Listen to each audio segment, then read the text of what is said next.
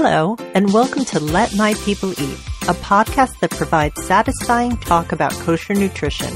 Here we clear through the clutter of nutrition speak, arm you with the clarity and confidence to eat, feel, and be your healthiest every day. I am Jill Scharfman, a board certified holistic nutritionist living in Los Angeles, and with me is Dr. Andrea Moskowitz. Hi, I'm Dr. Andrea Moskowitz, and I'm a neuroscientist and psychiatrist. I use my training and experience to integrate positive lifestyle changes into my patients' lives.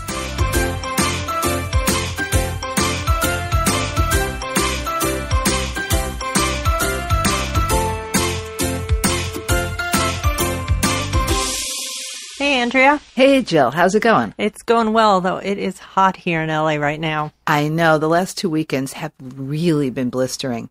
So, I have a fun fact for you. Okay. Okay. What makes up at least 50% of our body weight?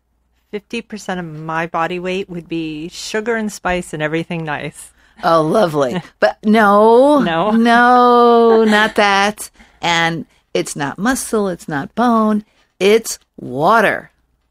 Water is over 50%, actually 55 to 75%, depending on your age and Wow, other factors. that's a lot. That is a lot. And you know what? We need it for every organ and every structure in our bodies.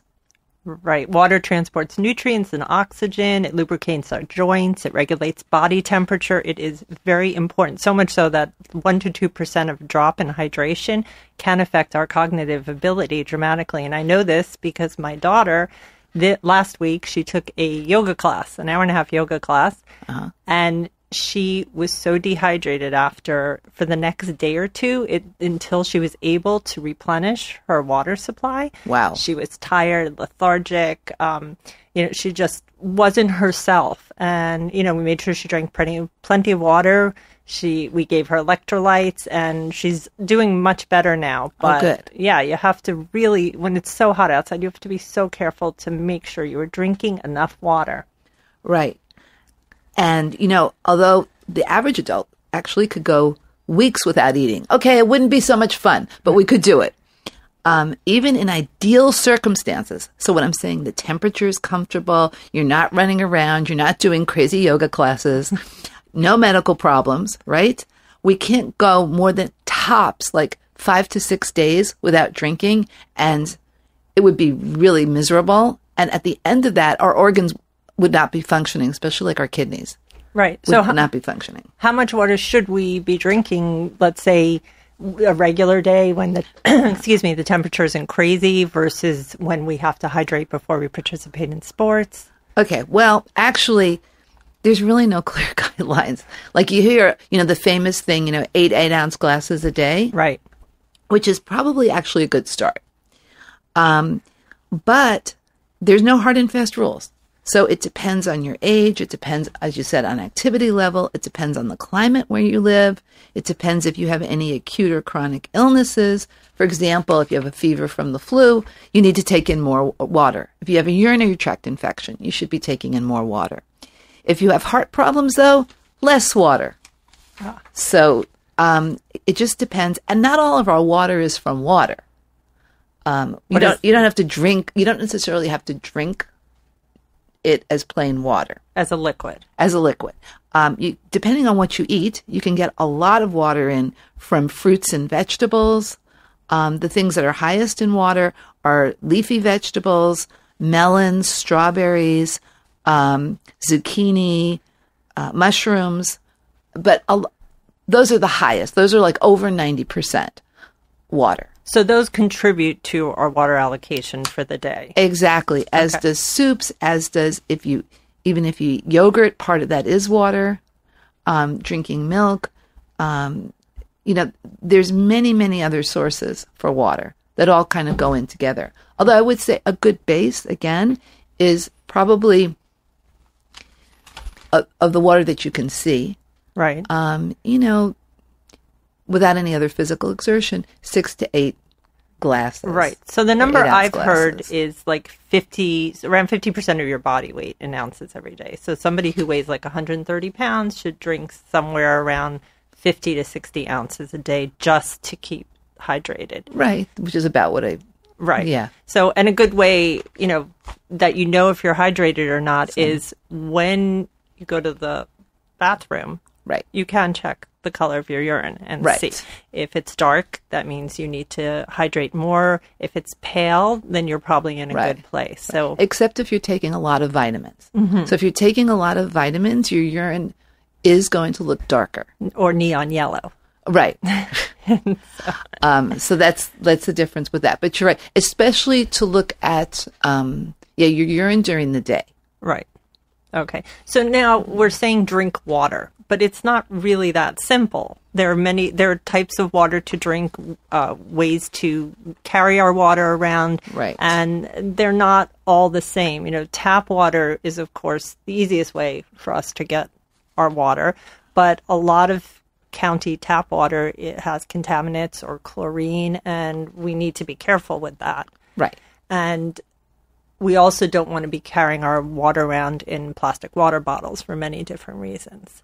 Right. So, so what do we do with with tap water? So what we can do with tap water. So you know, first of all, it does depend on your county where you live. There are some waters that are quite good. Right. Okay. Um, you can probably call your local water Department of Water and Power and find out. right. you know, or look it up online, etc.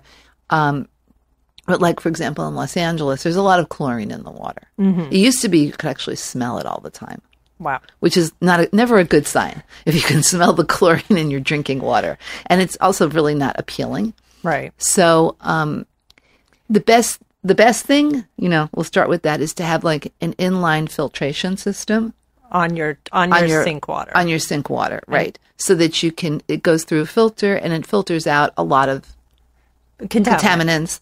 Um, also, too, if there's ever a problem with the water system, it can for a while filter out uh, bacteria and you know other things you don't want in your water, Right. In your drinking water. Um, so that's like the first.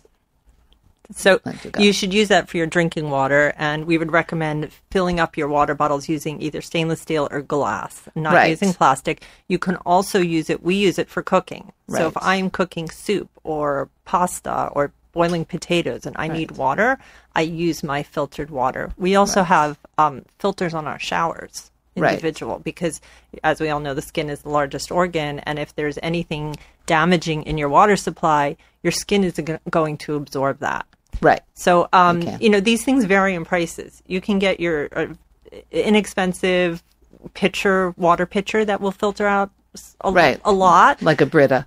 Right, like a Brita, or you can do it under the sink, which is a little bit more pricey, and generally somebody has to come and install it. But Right. once it's in, you know, you have to change the filters every six months, but Right. it does a really good job and, and delivers you clean Right. water. And it does pay for itself. Yeah. Because those filters are not so expensive. Those Right. the ones under the sink are they're not so expensive to replace. So here, I'll, I'll give you an example. So Aquafina, so a half liter of that sells for about a dollar thirty-nine. We looked at a convenience store in Tucson. The water in the bottle, Aquafina, is not well water or spring No. water. It's purified tap water. Right. So what you're doing is water that you could get in Tucson for 6.4 gallons out of your tap for a penny. Right. You are actually paying a dollar thirty-nine for half a liter, which makes Aquafina seven thousand times more expensive than get, just getting the water out of your tap. Right. and you're really not getting any benefit. Right. And it's in plastic bottles. It's in plastic bottles, which so- is a problematic. Right. Especially, you know, I was going to say the thing with the bottles. Yes. You know, probably the really hard plastic ones that say no BPA. Mm-hmm. Those are probably okay. Okay. I mean, I wouldn't free. You cannot freeze in them. That's one of the big no-nos with water in bottles. Do not freeze it What, what in the bottle because when it's um, when it's coming back to room temperature, so there's toxins in the plastic. They're called phthalates. Okay. Okay. And they've been linked to cancer and other health problems. And once the plastic, and they're used to soften plastic. So really, the harder the plastic is, the less they have in it. So those really soft bottles, the ones that you like, you know, as you're drinking it, they're collapsing on you. Right. Right. Um, those are the worst. Okay. Those have the highest content of the Because- soft one of the softeners in it. That then leaches into the water That you're then drinking. leaches into the water you're drinking as the water come. If the water gets warmer, Hmm. or it comes back to room temperature from being frozen. Also, the freezing can do like micro cracks in that kind of plastic, or and then that sort of leaches things out. And and those those chemicals that leach into our water that we're drinking on a daily basis affects hormones. What else? What what are the negative linked effects? to um, cancers, linked to a, a, potentially linked to a number of of medical problems, fertility problems, etc. Okay. Mm-hmm. And So we don't want to take those in. do you know what the Great Pacific Garbage Patch is?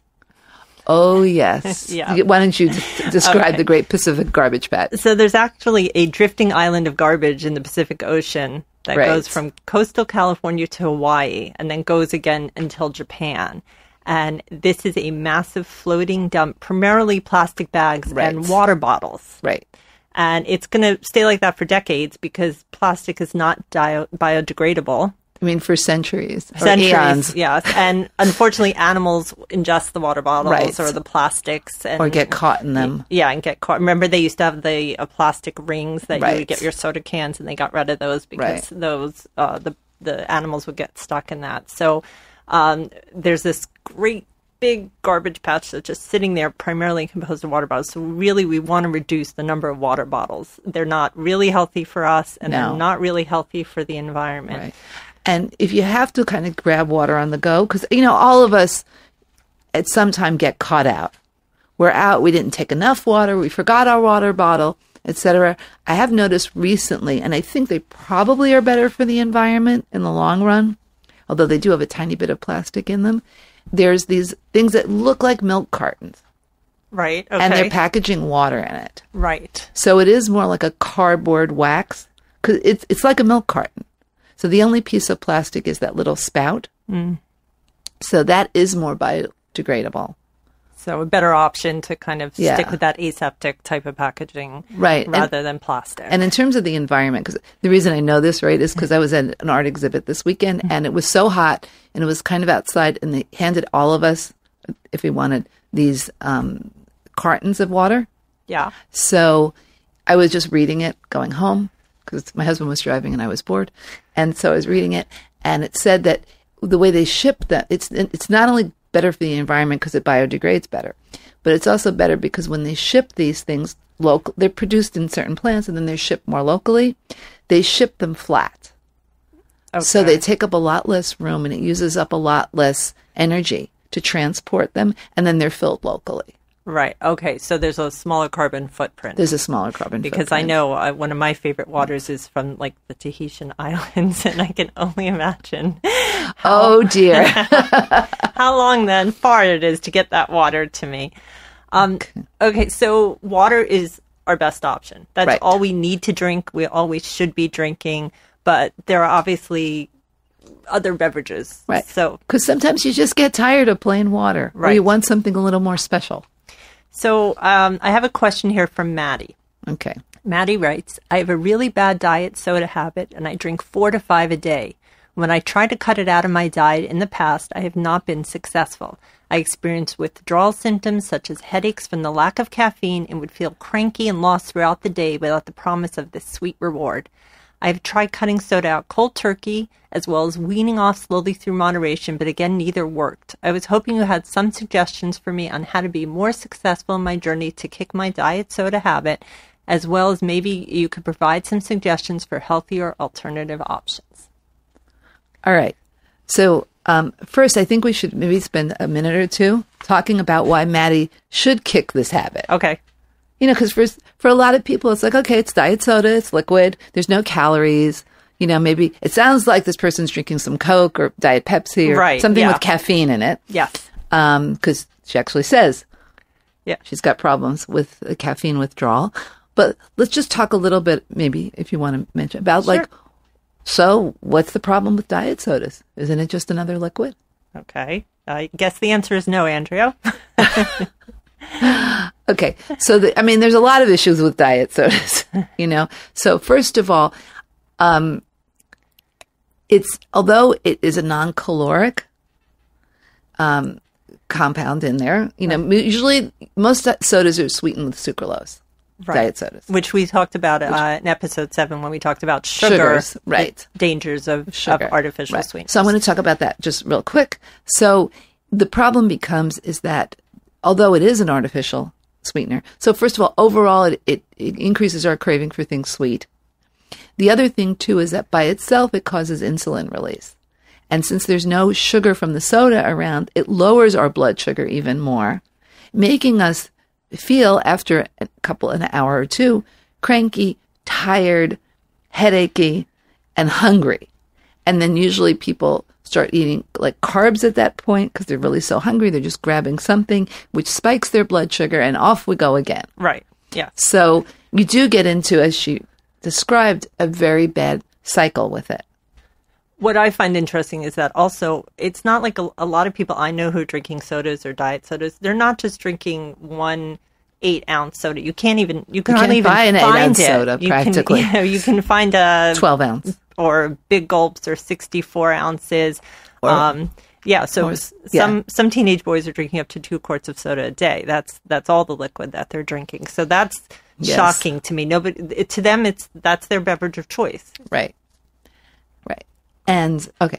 So how to get off of, you know, so this person does realize this is a really bad problem.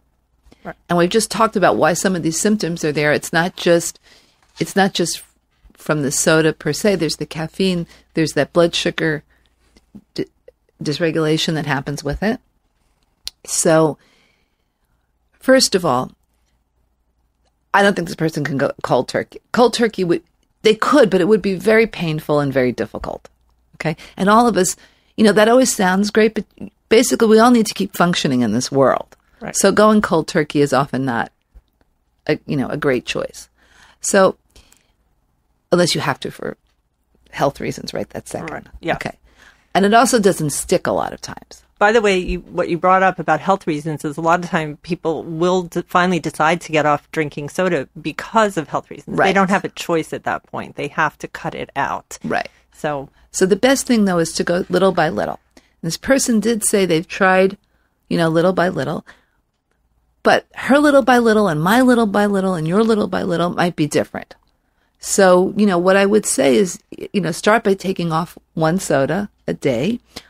I, if she's not drinking everything with caffeine in it, she could start with the start with the one that's easiest to get rid of, not the one that's hardest to get rid of, the one that's easiest. So hopefully there might be one in there without caffeine. That might be easier, and then substitute in maybe like sparkling water for that one. She feels the need for something bubbly, you know, um, or some. There are some that have like natural flavors in them. Different people like different things. yeah, there are a lot of different soda options now that might be a good way for her to transition from Right. drinking Diet Pepsi or Coke or something to Right. going to the LaCroix or things like that. Right. And there's some that are flavored with stevia, Right. which would be better. We mentioned that before.